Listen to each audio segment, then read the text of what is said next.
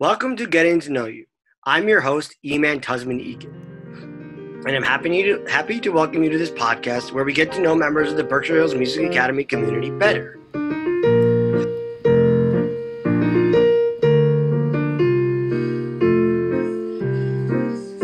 Our guest for today's episode of Getting to Know You is John Libera, joining us via Zoom from his apartment in South Hadley.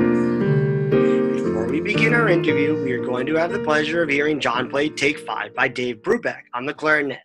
Enjoy.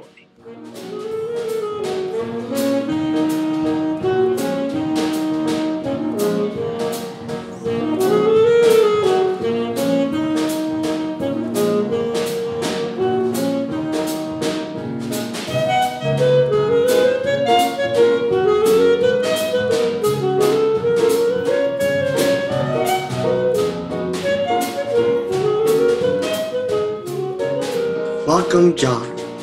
Thanks for coming so much for coming on the show today. You're welcome. The community is looking forward to getting to know you more. I'd like to start with some questions about your time at BHMA. And if my questions are not clear, please do not hesitate to ask me to repeat. So here we go. I know you were in the first class ever at BHMA. Is that so? Yes.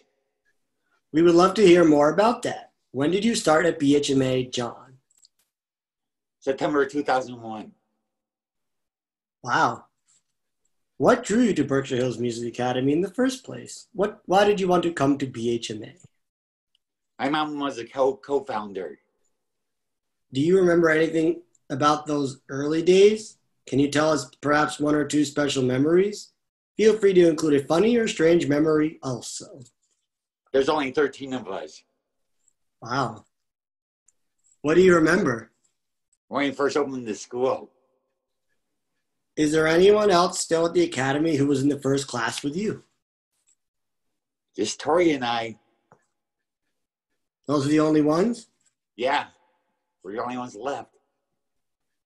Do you stay in touch with some of the people who were in that first class and are not at BHMA anymore? Some of them.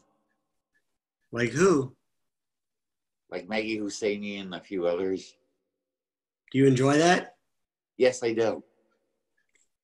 Now let's move from the past to the present times at BHMA. I know you play sax and clarinet. I also know that you're quite a skilled and talented musician. Can you tell us a little about why you enjoy about those instruments? I would love to know.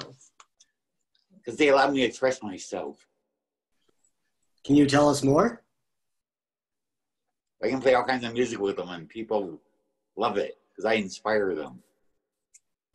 What kind of music? Like jazz, the classical, the pop, the rock. Do you have a favorite piece of music you play? Watermelon Man. John, I've been wondering about your practice schedule. Would you tell us how often you practiced before BHMA closed and our world changed? And what is your practice schedule like now? I practice regularly before the school closed. Every day? Yeah. And I practice every day at, and I practice every day at home. How long? Like an hour. No wonder you're so good. I also know that you are a troupe member and regularly play with other musicians. What do you enjoy about playing with other musicians? That we all work as a team. Can you say more about that? And we work on house out problems without getting angry at each other. How have you improved as a musician because of being part of the troupe? Well, I've come a long way since I started. Can you give some examples? Can you play more complicated music? Yeah, I play more complicated music now, yeah. One of the wonderful things about your musicianship is that you not only play two instruments, the clarinet and the sax, you also play different styles as you as you have said. Now we are going to hear John perform a Bagatelle Prelude on sax by George Finzi.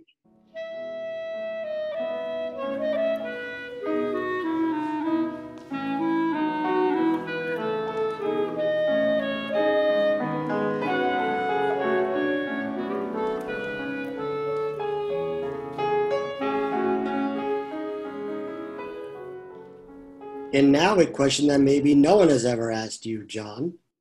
If you could play with any musicians in the world, who would you want to play with? Yeah, no way. Wow.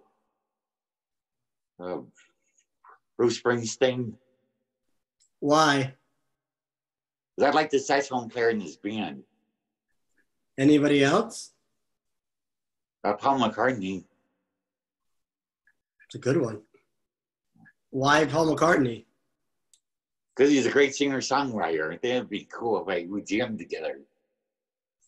Yeah, that's that's good. That sounds great. What songs would you like to play with him? Any of them, they're all good. And if you could have anyone in the world teach you more about playing sax and clarinet, who might that be? Oh, that's a good question. Me my teacher, Paul. It's a good answer. Anybody else? Not that I can think of right now. Now, if it's okay, let's talk a little about life in these pandemic times, starting with changes at BHMA. While our day program has been closed, what have you missed mo- the most about not being at BHMA? Being with my friends. It's a good answer. What have been your favorite parts of Zoom? Seeing all my seeing all my connecting with all my friends online. Yeah, I like how we see each other in class and stuff during the day. I see you in classes on Zoom sometimes. Like how we chat, like you and I chat sometimes. I like Right. that. We do the private chat, yeah. You have do you have favorite Zoom classes? What are your favorites? That's self advocacy. What do you like about that? I'm able to advocate for myself. It's a good skill. And I, and I like the ring round table too. Yeah, I like it too. What do you enjoy about it? The way that it's read and sometimes that it's funny. The book we're reading now is good. What are you looking forward to the most when BHMA opens up again? Seeing some friends and staff I missed a lot. And now I would like to ask a little more about living through these pandemic times. Where have you spent most of these time these time these past few months? At home in my apartment. Have you gone to, your parents at all? Twice. I know you live in South Hadley because we are neighbors. Has South Hadley felt different to you in these past months? Yeah, it did at the beginning, but now it's gotten better. Because everything closed, but everything's now starting to back open back up again. It's more lively now. Yeah, I can I can understand. Has any has anything been especially hard or challenging during these this pandemic? Not be able to, not being able to see my family. That's probably for a lot of people. I wonder what has helped you make it through these times. Are there particular people who have supported you, and what enjoyable activities have helped? Well, my friends have supported me. The staff at BHMA have supported me. What activities have helped? Taking walks on the river, nice cooking on my own. That leads me to my next question. Speaking of enjoyable activities, I know you like to cook, John. What have been some of your favorite meals to cook at during this time at home? Steak, Anything else? chicken. How do you prepare it? I might grill. when it when the pandemic is over, would you make me some steak? Yes, Thank you. you're welcome. Now to switch gears again to some open-ended questions to help the community get to know you better. John, I know that you're a really good friend. What would you say is important when you are someone's friend? Honesty, It's a good one. Anything else? trustworthy. All good qualities. I know you're that kind of friend. Yes, I asked you before if you could choose anyone in the world to teach you music, who would that be? Now, I want to ask something similar, but a little different. If you could learn anything you don't already know how to do, what would it be, and who would you like to have teach you? Ooh, that's a good one. I'm not sure right now. If it could be anything at all, what would it be? Maybe play a new instrument. What what instrument would that be?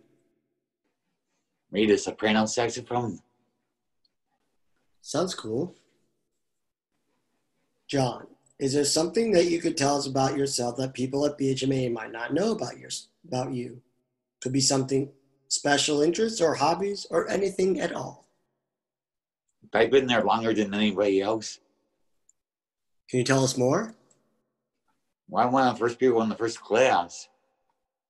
What was special about being in the first class?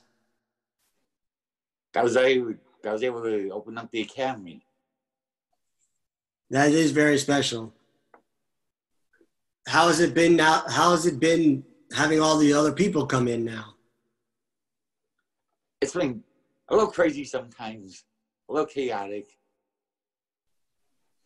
If you had a magic wand, what would you change about BHMA? Bigger dining room.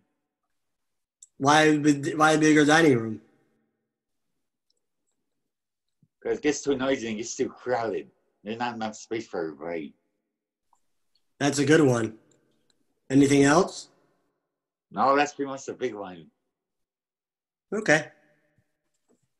And my final two questions today, John. Actually, three. Do you have a favorite joke or riddle to share? No. It's okay. You know me, I probably have a bunch. Yeah, I'm not that best of a joker. I can do one. Okay. How did the monster protect himself from the beach? I don't know how. He put on sunscreen. Good one. If okay, if you had superpowers, what would you do with them? Be invisible. That's a good one. I would have chose that one myself. Why invisible? So I can be sneaky and nobody know where I am. I would have picked that one too. Where would you go? Where nobody can find me. Is there anything else you would like to share with the community before we close?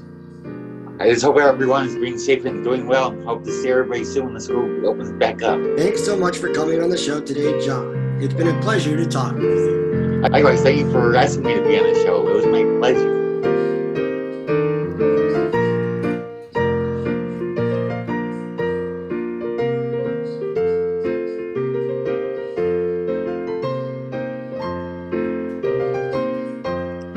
Thank you, everyone, for listening to today's episode of Getting to Know You. I'd like to thank John again for taking the time to talk with us.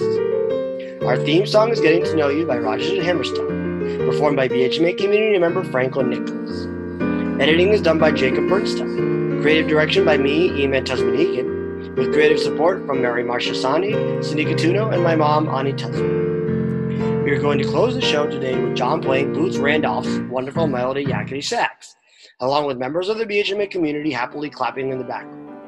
Thanks for, so much for tuning in.